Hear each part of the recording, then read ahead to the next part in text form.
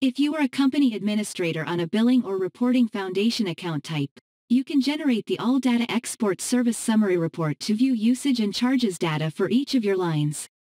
Go to Bills and select the Foundation account record from the list of accounts. The Foundation account record will show the account number matching the Foundation account number. Click Bills in the Bill PDF column, then select All Data Export Service Summary.